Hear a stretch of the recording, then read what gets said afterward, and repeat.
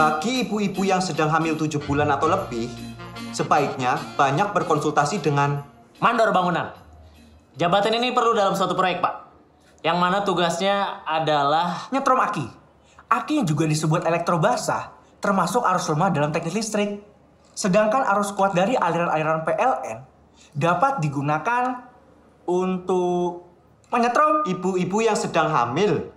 Agar tetap sehat setelah melahirkan, harus banyak makan. semen, pasir, koral. Nah, campuran ini disebut Kondom, spiral atau pil adalah alat kontrasepsi untuk menjarangkan kelahiran. Tepat. Agar bayi selalu sehat setelah dilahirkan, harus langsung di cor.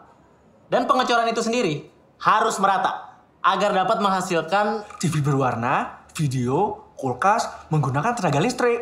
Ya, dan cara untuk mengubah tegangan ke dalam arus lemah harus dipakai Popok bayi dan pakaian lainnya harus selalu bersih agar bayi tidak masuk angin setelah dimandikan. Bagian perut bayi harus dibalut dengan cat tembok atau pelitur. Itu pun harus disesuaikan warnanya dengan Gelombang radio dan frekuensi sebuah alat pemancar dapat ditentukan oleh antena. Agar kita mendapatkan suara radio yang baik, antena harus dihubungkan pada tali pusar bayi. Tali pusar bayi yang baru lahir harus bersih supaya sehat. Selain itu, bayi harus disetrum.